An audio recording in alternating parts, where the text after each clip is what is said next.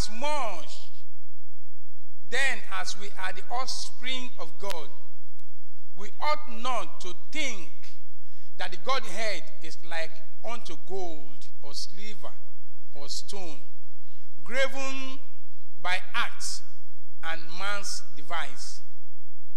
And the time of this ignorance God winked at, but now commanded all men everywhere to repent, because he has appointed a day in the which he will judge the world in righteousness by that man whom he had ordained, whereof he had given us, he had given assurance unto all men, in that he had raised him from the dead.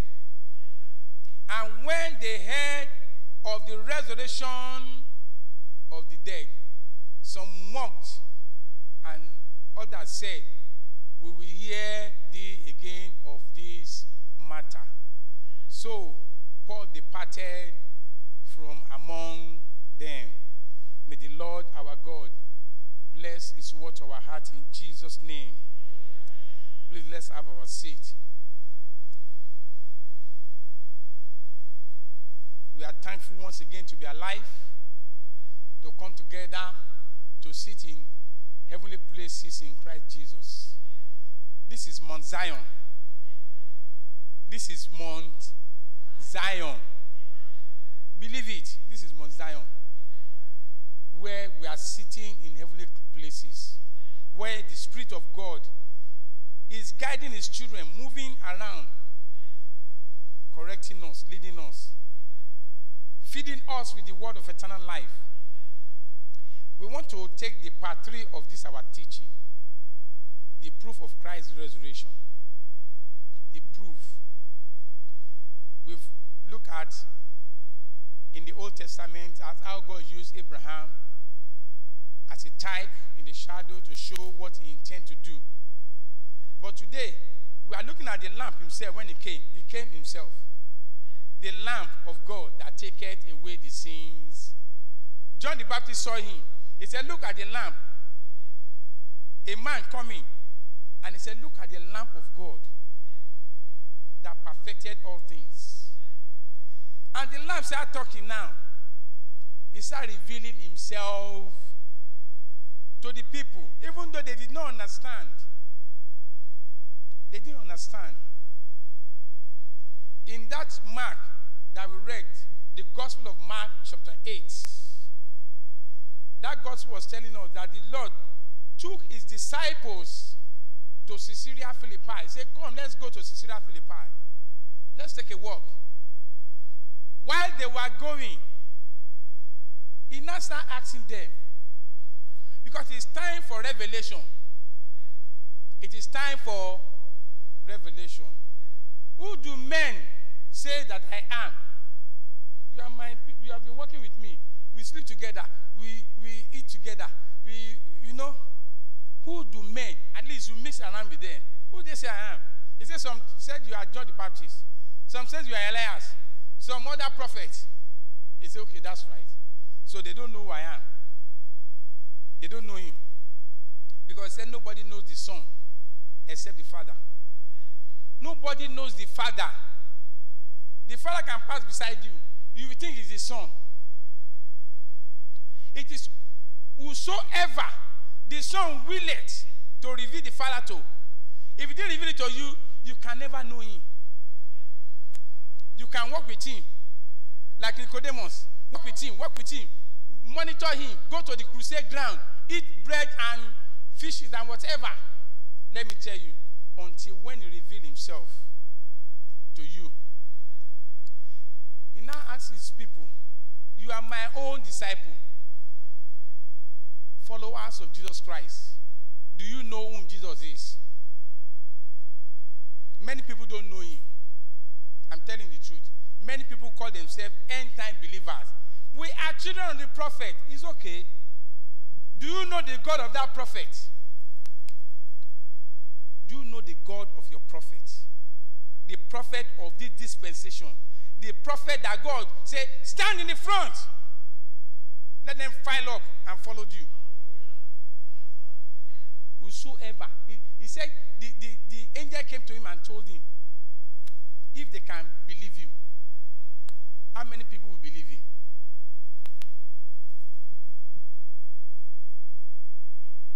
He said, Who do men say I am? Simon Peter said, Thou art Christ.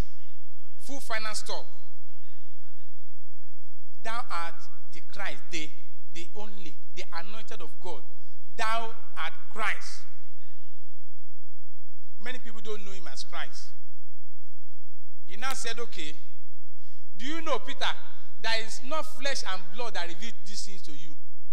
They, didn't, they are fishermen, they don't go to school. They did not go to school. Eternal life is not by school. You can be a professor, it does not matter. Whosoever the Son of Man revealed himself to, he gave him eternal life. He gave her eternal life. Full final stop. The professor can call and say, um, What is Genesis chapter 1, verse 1? He said, I don't know it. But let me tell you, inside, there's eternal life. Oh. Eternal life is there. When the trumpet shall sound, he or she will be in a twinkle of an eye. He said, Thou art Christ. The Bible said, He now start teaching them. He start teaching them what he will suffer. He start giving them the revelation.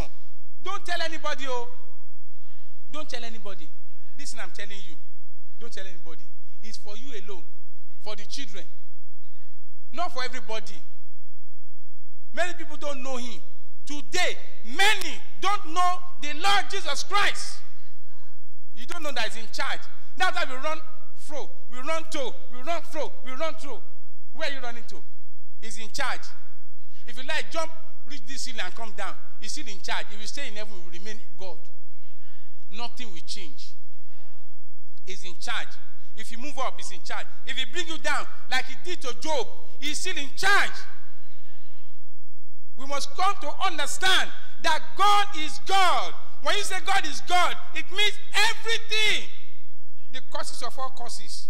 The cause of all causes. Everything you think is the one that is in charge. If you go to school, he permitted you. If not, you will never go to school. You won't get the opportunity. Your father can be very rich. It does not matter. God is in charge.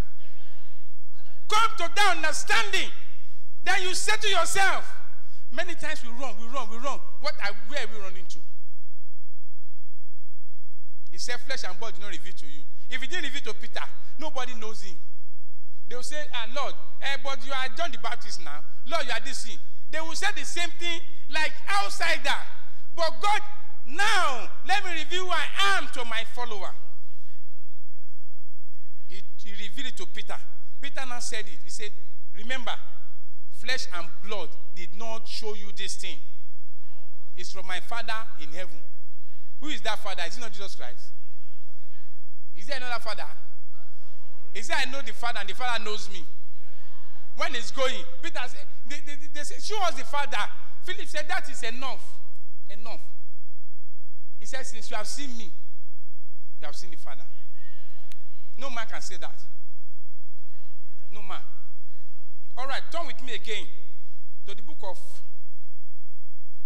Matthew, chapter 17. Just pick some areas where he started revealing himself, the purpose of his coming. Matthew chapter 17. Oh, let's read just verse 9. Verse 9. And they came down from the mountain. Jesus charged them, saying, Tell the vision to no man until the Son of Man be risen again from the dead. See, Mark chapter 9, until the Son of Man be risen from the dead, he keep telling them about the resurrection. Mark chapter 9, I want to read. Let me read from verse 9 also. Mark chapter 9, I'm reading from verse 9. And as they came down from the mountain, he charged them that they should tell no man what things they have seen, till the Son of Man will raise him from the dead. Look at from verse 10. And they kept that saying with themselves, questioning one with another. What is the rising from the dead should mean? Can we leave our Bible? It's the same thing. I'm just trying to show you in the book of the Gospel of Matthew and the Mark. He took them up and God confirmed. God revealed to them again. There. This is my beloved son. It's only him you should hear. Don't hear another person. Don't hear deceivers. They will tell you it's on the mountain. It's in uh, Babish. It's in, I've been to Babish before. Then when I was uh, working in VI. When you drive, just drive around the Babish and park your car that you want to do. The, the day you walk around, you will see them baiting people. it's, it's, it's not there. Our God is not in the stadium.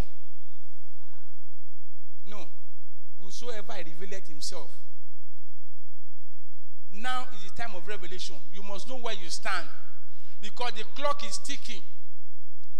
I have 15 minutes more. The clock is what? It's ticking. And the time of his coming is by the door. The days of playing around is over. That's why he's revealing himself. This is the reason why he came. Don't tell any man until when I'm raising from the dead. He said, okay. They kept it to themselves, but they, they started thinking, ah, ah why is it, this rising from dead? We don't understand. You know, Job thought the same thing. Job said, if anybody died now, there's the end. But there must be something after death. But it's a mystery to them. That's a mystery that God has revealed to us in our dispensation. Turn with me to the book of John, chapter 2. Just to pick a little there, a little to see what God Himself said to us. John chapter 2, I want to read from verse 19. Jesus answered and said unto them, Destroy this temple, and in three days I will raise it up. Let's leave a Bible. Destroy this temple. And in three days, they told him about the temple. Oh, oh, Bethlehem Camp Temple. we built this for many years. I remember many of our daddies, uh, the Silas, you know, when they were supervising us, I was working with Bra Igwe down here. Me and uh, Oyema, uh, uh, Elder, Johnson, we used to carry sharp sand over there. We are the laborers. So when I tell my Bra Igwe, this thing is not straight. If Elder Silas comes, what are you doing there? Go and bring sharp sand. Go and bring sand for them. But Bra Igwe used to look at me that this brother have knowledge of uh, this thing. So when an Israelite goes, I will come back. You say, come and look at it. This temple, we built it for 46 years. The Lord said, I will do what? I will bring it, you bring it down in three days, I will raise it up. Ah, ah. Abomination. He said, Master, I mean 46 revealing to them the purpose of his coming. But many of them did not know. In another place, in the book of, uh, I believe it's in the book of John, uh, the same Matthew, sorry, Matthew chapter 12 from verse 38. The scribe and the Pharisees, they came to him and said, Master, show us a sign. He said, it is evil and adulterous generation that look for sign. The only sign you will get the only one, is the sign of Jonah, Prophet Jonah. Prophet Jonah. How, how did he become a sign? He said he, he went to the whale's belly three days and three nights and he came out. Revelation revealing what will happen about himself. But they never grasp it. The proof of his resurrection, the lamb of God that took the, the sin of the world, is revealing himself now. That this is what will happen to me. The Son of Man will go as it is written of him. Let's look at the book of John, chapter 10. Hmm. It's so interesting. This God will serve. One song says, I go worship Jesus. So I go peme. the book of John, chapter 10, I want to read from verse 15. And as the Father knoweth me, even so know I the Father, and I lay down my life for the sheep. And other sheep I have, which are not of this fold. Them also I will bring, and they shall hear my voice, and there shall be one fold and one shepherd. Therefore, doth my Father love me, because I lay down my life, and that I might take it again. No man taketh it from me, but I lay it down of myself.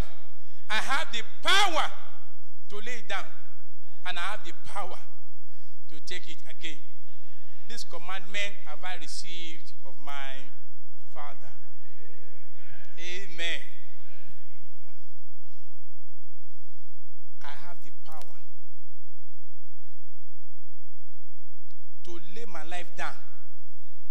Think about it first. Can a man die and he pick his life? Can any angel, God cut off angel and he pick his life again? I have the power to lay it down, leave it like this, and I will go for three days or for one year, for whatsoever time I, I desire. And I will come back and I will take it from there. I have the power to lay it down and take it from there. No man can take it away from me. Many of us we went to bed yesterday. We went to bed. And this morning, he gave us resurrection. Resurrection means to rise up. And he gave us the life. Many people went to bed yesterday. They are from there to the mortuary. They can't say they have the power. No man can say that. No angel can say that. No cherub can say that. I have the power to lay down my life. Ah. Therefore, he is the life. Do you believe it? Jesus Christ is the life himself. Whether you are talking of life of 70 years or talking of life of eternal life, he's the one that gave it to us. No man can. The Bible said the day God called the Spirit, if he called the Spirit, no man has the power to say, wait a minute, let me finish my food or let me write my will. Just give me five minutes. I want to quickly write the will so that I can tell my children, my or let me park my car very well.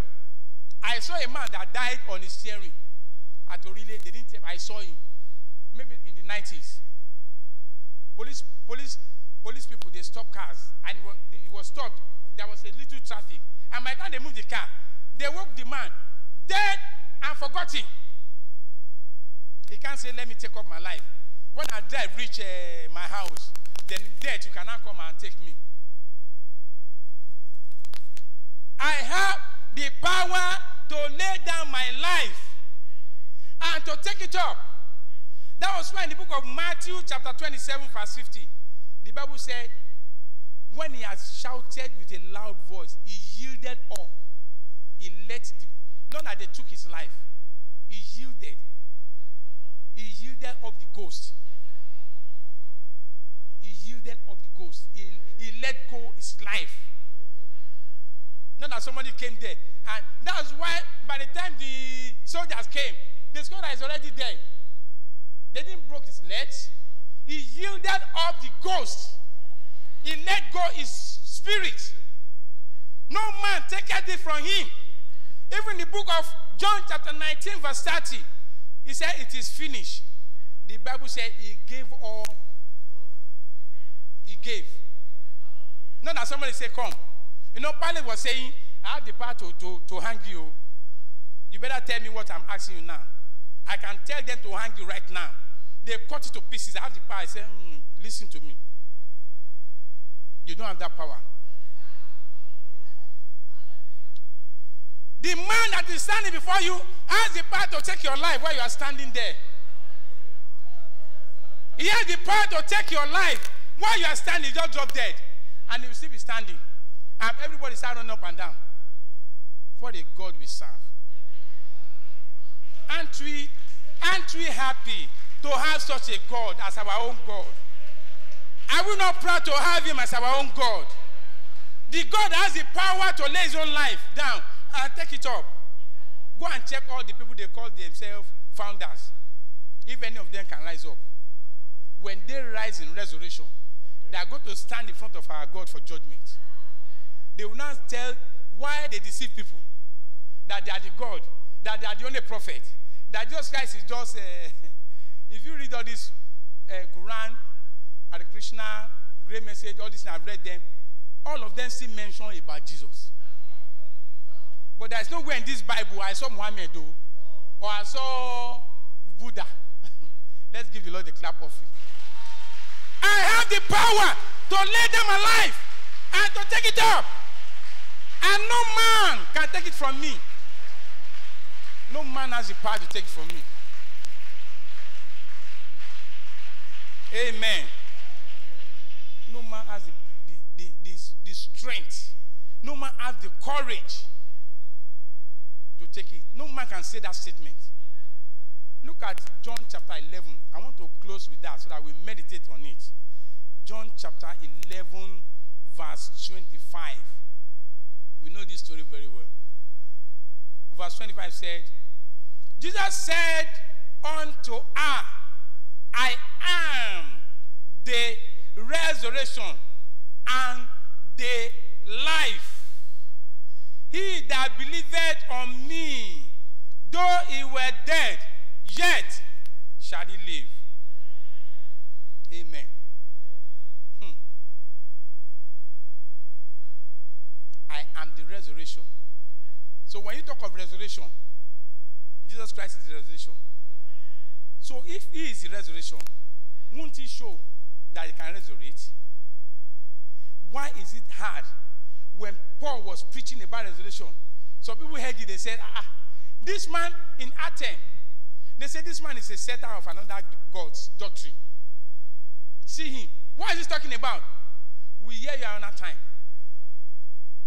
He's a, setter of another doctrine. We are not setter of another doctrine. We are standing on the infallible word of God. We are standing on the word that our fathers, the prophet, have preached. We are standing on the word that the apostle has preached. We will contend for the faith. Anywhere we go all over the world, we are standing on the truth because our God will confirm his word. He will confirm his word.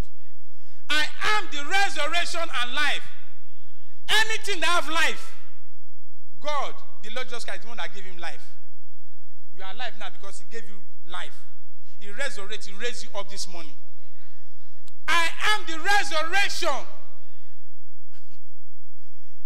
oh my God. It's so interesting to know that our God Himself is not until that day of resurrection. He can do it today. He can resurrect people today. He's in our midst. All the parts that is dead in our life, our God can still resurrect it today. Can we give the Lord a clap offering?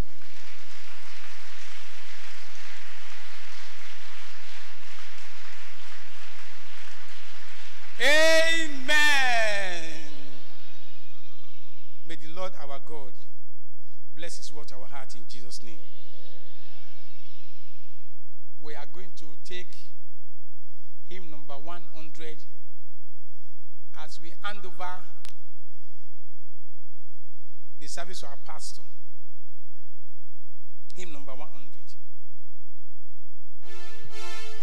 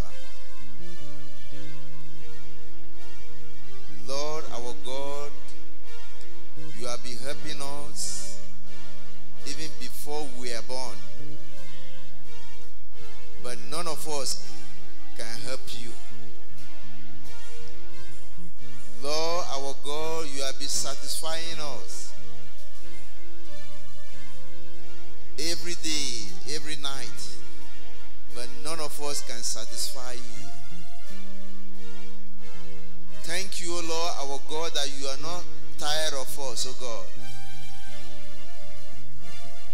Here we come this morning again with our burdens. As our faces differ, so our burdens differ, oh God. Lord, our God, you know the material which you have made us of. Praying to you, Lord, our God, may your Holy Spirit continue to dwell in us. That's the only good thing, oh God, in this body, oh God. Father, forgive us our sins. Forgive us our iniquities. Our Father and our God, thank you for journey mercies. Thank you for saving your children from that accident, oh God. Lord, you totally defeat the enemy's purpose